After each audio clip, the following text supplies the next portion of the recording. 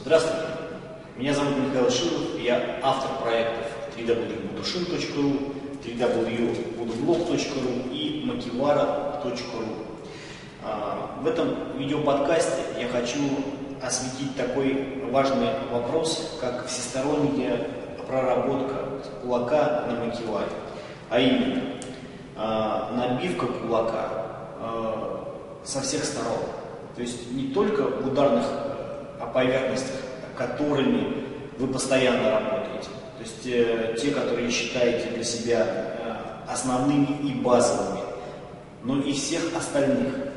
Э, дело в том, что ударники очень часто работают только несколькими ударными поверхностями, которые находятся на кисти. Это прежде всего сейкен, вот эти две костяшки, эти три костяшки, да, э, также некоторые бьют уракен, э, сатыцуй и тейши.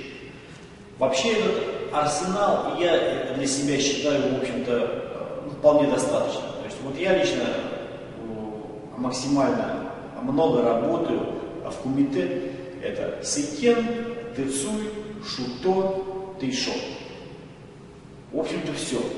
Но на макеваре я обязательно, когда занимаюсь набивкой укреплением ударной части набивкой ударной э, поверхности, я прорабатываю абсолютно всю кисть. То есть я работаю и шуто, и хайто, и хайшо, и уракин, и э, какуто, абсолютно все части прорабатываю. Все, что можно. Обязательно, конечно, сыкены, эти три костяшки. То есть все эти части кулака я прорабатываю. Э, зачем это нужно? Даже если вы эти удары не используете в э, бою, комплексная проработка такая всесторонняя, она нужна для того, чтобы кулак закреплялся со всех сторон. Дело в том, что работа на макеваре в плане набивки, а не постановочного приема. Да, когда вы работаете постановочным приемом, там вы да, нарабатываете те приемы, которыми вы реально собираетесь э, вести бой, то есть которые вы будете использовать реально, в реальном самостоящем э, бою. Э, при набивке вы прорабатываете все, почему. Оружие нужно выковывать. Когда мы набивкой занимаемся, мы куем оружие. Да, набивка разная бывает, она поверхностная бывает, бывает более углубленная. Это не тема данного подкаста, но э, тема данного подкаста та, что оружие нужно оббить со всех сторон. Дело в том, что если мы а, постоянно занимаемся э, набивкой в одном направлении, одной какой-то части, например, мы работаем с эфиром постоянно, то наши кости, ударная э, вся поверхность, ударная часть, ударное звено испытывает нагрузку, э, противоположную вектору силы самого приема. То есть кости все, все суставы, связки все испытывают вот такой вот ну, как и силовую нагрузку, продольную, но не испытывают вот такую поперечную нагрузку.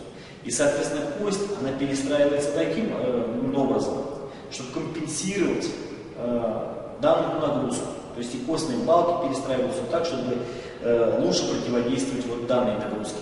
Но совершенно не приспособлены, чтобы противодействовать какой-то поперечной э, ну, нагрузке.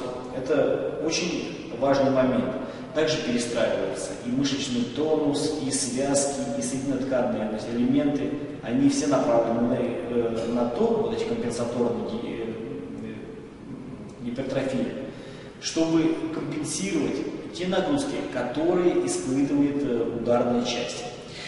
Вот. А кость и ударная часть должна быть закалена комплексно. Она должна вся представлять из себя молоток. Если это кулак, то он реально молотком и должен быть.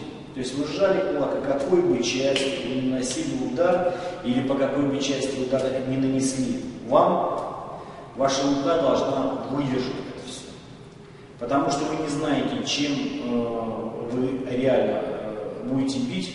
То есть вы можете бить и кулаком этой частью, а попасть этой частью кулака, мизинцем. Там, да? Вы можете бить э, куракин, а попасть с тыльной поверхностью кисти. Что угодно может быть. И ваша рука должна выдержать это дело. То же самое касается и голени. Вот смотрите, наша голень. э, большеберцовая кость, она выдерживает вот так осевую нагрузку до полутора тонн, а есть исследования, которые показывают, что и больше. То есть если на согнутую колени ногу тогда поставить ее, предположим, на какую-то лавку, а сюда положить вес полторы тонны, она спокойно выдерживает. Но если положить вот на такую ногу этот вес, нога э, сломана будет. Потому что она не держит нагрузку поперечную, она держит осевую, потому что всю жизнь мы ходим на прямых ногах, и кость устроена так, чтобы выдерживать осевую нагрузку. Если же мы занимаемся набивкой всесторонне, обрабатываем кулак со всех сторон кисти, то кости начинают гипертрофироваться таким образом, чтобы компенсировать любые нагрузки, любые связки точно так же гипертрофируются и мышцы. И тогда оружие действительно становится целью. Понимаете, молоток, если он состоит из пены и имеет только нашлепку металлическую, ударную поверхность, да, хорошо подготовленную, он, им, конечно, ударной поверхностью можно ударить очень сильно. Она будет жесткий удар и все такое прочее. Но если молоток будет цельный, то бить можно будет любой совершенно частью. И на отмашь, и самой ударной позиции, любой другой. А самое главное, что если по нему нанесут удар, ему ничего не будет. Если у вас кулак крепкий, выкованный, оббитый со всех сторон, монолитный, то это действительно оружие. Если же он имеет только какие-то ударные поверхности, которые готовы к удару, остальная часть не готова к удару или не готова нагрузки выдерживать, это не оружие. Понимаете, такое оружие, оно обладает гораздо меньшим э, потенциалом, гораздо меньшими возможностями. Оно требует гораздо больше ухода, и оно прихотливо. И более того, оно э, аутотравматично. То есть вы можете сами его и повредить. Не говоря уж о том, что повредить его может вам ваш оппонент. Поэтому, когда вы занимаетесь набивкой, то наносите удары всеми ударными поверхностями, которые только существуют в карате или в других видах боевых искусств. Обязательно используйте все ударные поверхности. Это принципиально. Не для того, чтобы ими потом бить, а для того, чтобы укрепить комплексный и всесторонний кисть и ваше основное оружие. Потому что только реально подготовленное оружие, рука, реально превращенная в молоток, может дать вам абсолютную уверенность того, что вы сможете использовать это оружие по полной программе, и то, что оно остается целым. Поэтому обязательно всесторонняя проработка. На этом, в этом своем подкасте я все сказал. Резюме тоже высказал. Даже если вы не бьете хайто, хайшу, уракин, э, какую-то и другими частями, при набивке обязательно используйте эти части и набивайте их. При постановке можете не использовать, но при набивке обязательно. И как при поверхностной, так и при глубокой. Все, спасибо.